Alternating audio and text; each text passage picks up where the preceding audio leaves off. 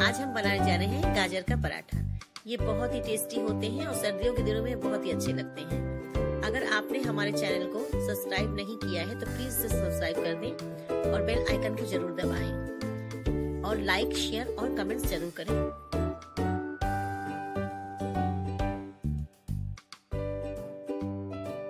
आज हम बनाने जा रहे हैं गाजर के पराठे।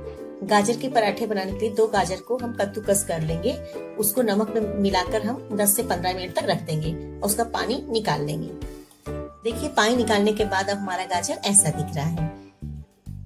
एक चम्मच अदरक पिसा हुआ, दो तीन हरी मिर्ची बारीक कटी हुई थोड़ा सा जीरा पाउडर थोड़ा सा धनिया पत्ता कटा हुआ और स्वाद अनुसार नमक। अब हम गाजर का मसाला तैयार कर लेंगे। खिसे हुए गाजर में हम अदरक हरी मिर्ची कटे हुए धनिया के पत्ते और जीरा पाउडर मिक्स करेंगे।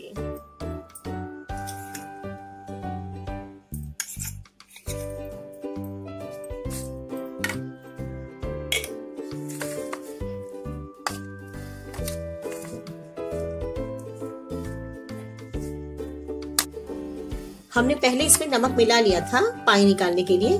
इसलिए बहुत थोड़ी मात्रा में हम इसमें नमक डालेंगे।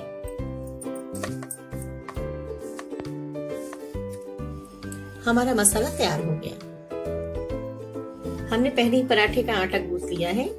आटे में देखिए दो कप आटा, इसमें थोड़ा सा ऑयल और नमक डाल के हमने आटा तैयार कर लिया। हमने एक लोई ले ली, अब इसमें हम अपने गाजर के फिलिंग को भरेंगे। हम लोई को एक कटोरे का सेप देंगे। अब इसमें हम धीरे धीरे गाजर की फिलिंग को भरेंगे।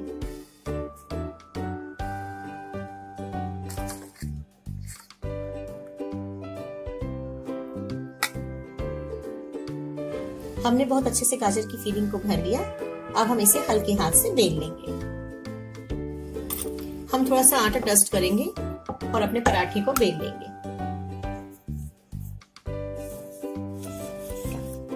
देखिए, हमने हमारे पराठे को बेल लिया है। आप गाजर का पानी अच्छी तरह से ज़रूर निकाल दें, नहीं तो ये पराठे फट जाएँगे। और खूब हल्के हाथ से बेलें। हम ऐसे ही बाकी सारे पराठे भी बेल लेंगे। हमने सारे पराठे बेल लिए हैं, अब हम इन्हें सेक लेंगे।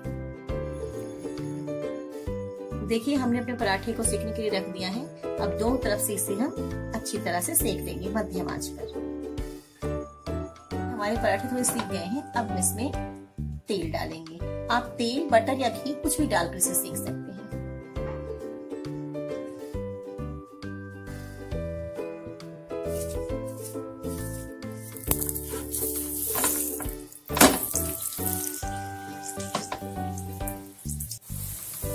हम दोनों तरफ़ इसे बहुत अच्छी तरह से सेक लेंगे पलट पलट